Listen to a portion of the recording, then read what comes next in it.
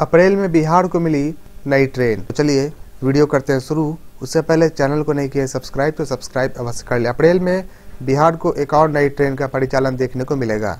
बिहार के Darbhanga, Supaul railway station के बीच नई ट्रेन चलेगी अगले महीने से। यानी कि मार्च के बाद के महीने से।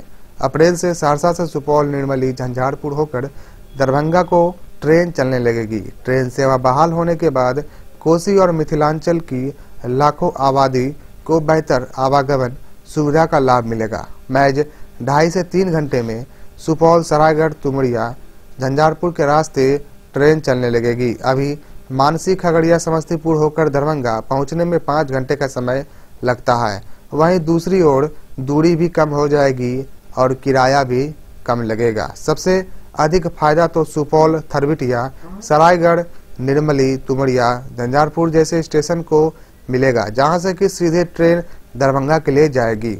रेलवे का कहना है कि अप्रैल के महीने में दरभंगा से इस छोटे स्टेशन के लिए ट्रेन चलने लगेगी। सुपौल, सरायगढ़, निर्मली, झंझारपुर होकर सहरसा, दरभंगा से रेल नेटवर्क से जुड़ जाएगा।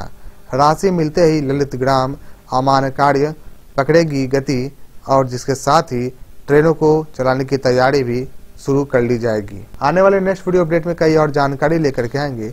वीडियो को करें शेयर, चैनल को कर लें सब्सक्राइब।